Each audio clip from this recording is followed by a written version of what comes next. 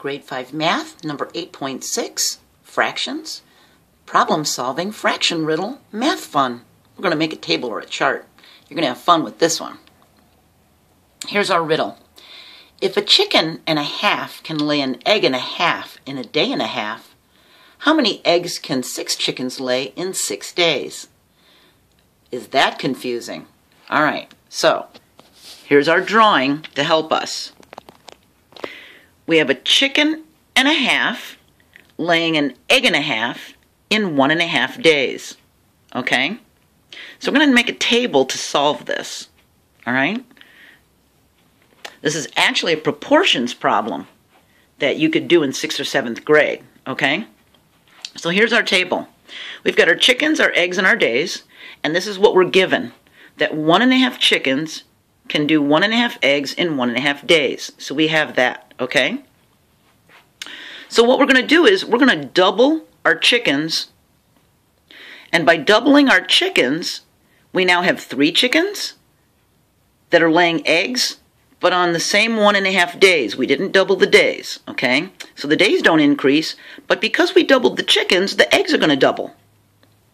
Now we're going to double the amount of chickens again, because remember, we're trying to get to six chickens in six days, okay? So by doubling the chickens again, we are now at our six chickens. We double the chickens means the eggs are now double again. So they're at six. But we're still at one and a half days, okay? We need to get to six days. So now we've doubled the chickens and then doubled them again. Now we're going to double the days. So the amount of chickens are going to stay the same, we're keeping the six chickens, but because we doubled the days, the amount of eggs are going to double. See that? To get to the six days, we double the days again. We still have the six chickens. Because we doubled the days again, the eggs are going to double again. So now we've got six chickens in six days, and they've laid 24 eggs. Isn't that something? Now, this worked because we took turns doubling the different amounts. We didn't double them all together because that won't work. You have to double the chickens and then double the days and just let the eggs follow. See?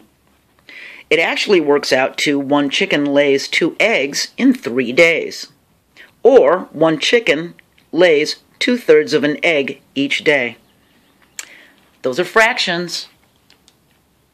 If you want to play this again or try pausing it to really take a look at this, feel free. But we're going to be moving on to algebra and patterns next. See you there. Chapter 9. Bye.